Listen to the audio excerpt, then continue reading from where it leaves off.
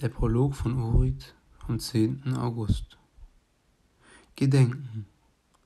Die heiligen Märtyrer Laurentius, der Erzdiakon und Papst Sixtus und andere mit ihnen. Als Papst Stephan getötet wurde, Gedenken am 2. August, wurde Sixtus, ein gebürtiger Athener, an seiner Stelle ernannt. Zuerst war Sixtus ein Philosoph und danach Christ.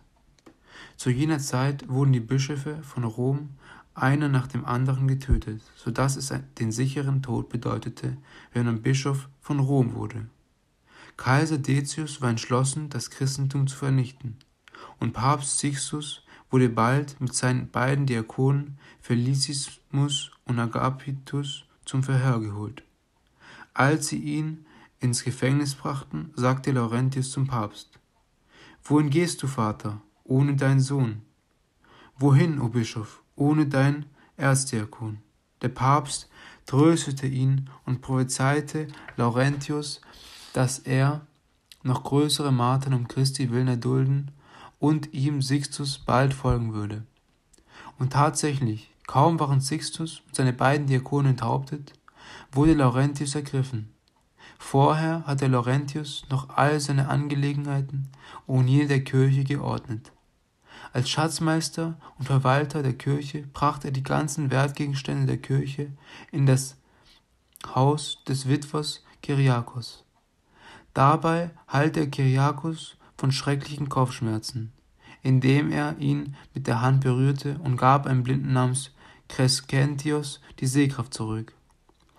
Ins Gefängnis geworfen, heilte er sogar dort einen langjährigen Gefangenen namens Lucilus von seiner Blindheit und taufte ihn daraufhin. Als Hippolytus, der Gefängniswärter, dies sah, ließ auch er sich taufen, und später erlitt er das Martyrium für Christus, Gedenken am 13. August. Da Laurentius Christus nicht verleugnet wurde, sondern im Gegenteil Kaiser Decius riet, von seinen falschen Göttern abzulassen, wurde er mit Steinen ins Gesicht geschlagen, mit einem Skorpion, einer Kette mit scharfen Zähnen, deren Ende wie ein Skorpion Skorpionschwanz geformt war, gepeitscht und noch anderen Torturen ausgesetzt. Romanus, der bei der Martern anwesend war, kam zum Glauben an Christus und wurde sofort enthauptet. Schließlich legten sie Laurentius nackt auf ein Bratrost und entzündeten darunter ein Feuer. Der heilige Laurentius dankte Gott und verspottete den Kaiser wegen seines Heidentums. Nachdem Laurentius seine reine und heldenhafte Seele Gott übergeben hatte, wurde sein Leib in der Nacht von Hippolytus geholt, zuerst in Kyriakos Haus gebracht und danach in eine Höhle, wo ihn Hippolytus ehrenvoll begrub. Der heilige Laurentius erlitt zusammen mit anderen im Jahr 258 das Martyrium. Der heilige Heron war ein christlicher Philosoph. Er wird vom heiligen Gregor den Theologen in seinen Büchern erwähnt. Er entschlief in Frieden und nahm Wohnung beim Herrn. Lobeshymne. Der heilige Märtyrer Laurentius. Der boshafte Kaiser fragte Laurentius, woher kommst du? Was ist dein Rang? Laurentius antwortete dem Kaiser, aus Spanien, ausgebildet in Rom, und dein Knecht des einen Gottes bin ich. Der Kirchenschätzer Hüter bist du? Des guten Schatzes, ja, das bin ich, Kaiser. Gib uns den Schatz und rette dein Leben. Der Schatz der Kirche ist im Himmel. Glaube auch du an den Herrn Jesus, und auch du wirst Erbe dieses Schatzes sein. Laurentius verleugne Christus. Du, o Kaiser, lass ab von den Götzen. Der Kaiser aber, zornentbrannt, ließ die Diener Laurentius schlagen und zerschmettern, und sie legten ihn auf einen glühenden Rost. Dieses Feuer ist kühl für mich, doch für dich ist eines mitten im Hades vorbereitet. Laurentius, verleugne Christus. Bedauerst du nicht, so jung zu sterben? Christus litt am Kreuz für mich. Für mich starb er, nun sterbe ich für ihn. Eine Seite seines Körpers ganz verbrannt, da sprach Laurentius zu den Folterern. Der halbe Körper ist geröstet. Dreht ihn um, seht, Speise für euch. Dreht ihn um, röstet die andere Seite. Dies sagte er und flog hinauf in die süßen himmlischen Wohnungen. Betrachtung. Wie kann man die Feindseligkeit unserer Feinde überwinden?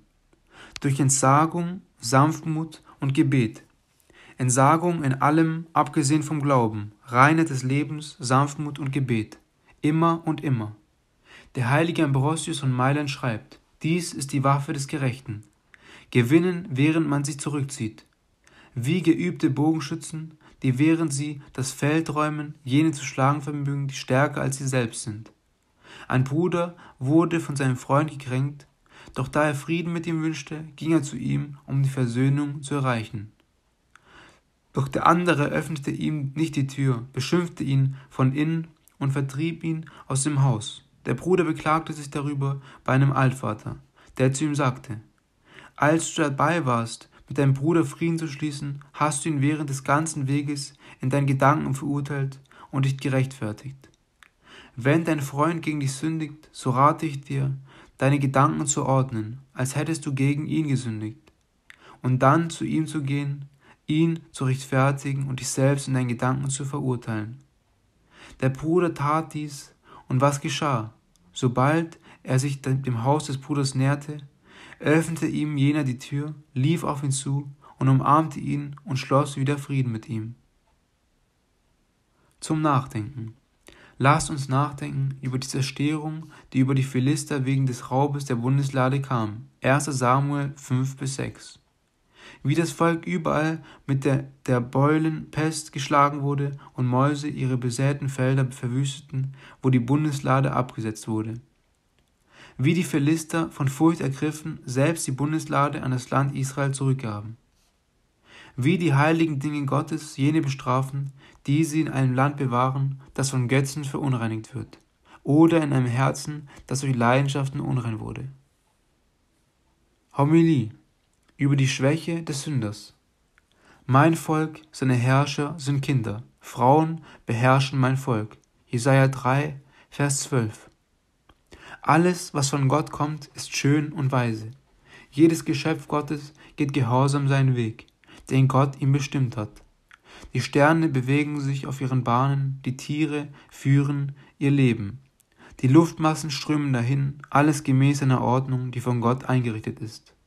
Nur der Mensch, das von allen Geschöpfen mit der höchsten Vernunft ausgestattete, fällt oft in den Irrwahn, verlässt die Wege Gottes und erfindet sich neue Wege seinem eigenen Ratschluss gemäß.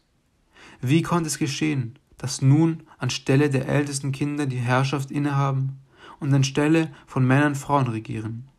Wenn Kinder ihre Eltern unterdrücken und Frauen regieren, herrscht gewöhnlich Unordnung.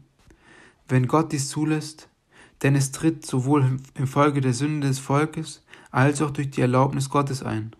Dann erhält das Volk auf dieselbe Weise die Strafe für seine Sünde, als käme Krieg und verwüste das Land. Denn alle Unterdrückung ist Krieg, und alle Unordnung ist die Strafe für Sünden. Wie Unterdrückung und Unordnung in einer Nation herrschen können, so kann dies auch in der Seele eines Menschen geschehen. Unreife und gottlose Gedanken werden von Kindern repräsentiert und körperliches, sinnliches Denken wird durch Frauen repräsentiert. Wenn unreife und gottlose Gedanken vorherrschen, unterdrücken sie den Menschen und treiben ihn von Übel zu Übel. Als würden Kinder Urteile fällen, und wenn körperliche Vorstellungen über die spirituelle, männliche Weisheit, die von Gott kommt, dominieren, beherrschen sie den Menschen wie eine böse Frau. Unter dem Begriff Frau versteht der Prophet nicht nur Frauen an sich, sondern das, was im Mann weibliche Schwäche ist. Kindische Torheit und weibische Launen sollten weder ein Mann noch ein Volk beherrschen. Es ist notwendig, sich fest an das Gesetz zu halten, das Gott für die Menschen erlassen hat, wie alle anderen Geschöpfe das Gesetz halten, das er für sie geschrieben hat. O Herr, unser Schöpfer und Gesetzgeber, erleuchte und stärke uns. Erleuchte uns durch die Gnade des Geistes, damit wir immer dein Gesetz kennen und stärke uns durch die Kraft des Geistes, damit wir es immer bewahren. Dir sei Ehre und Lobpreis in Ewigkeit. Amen.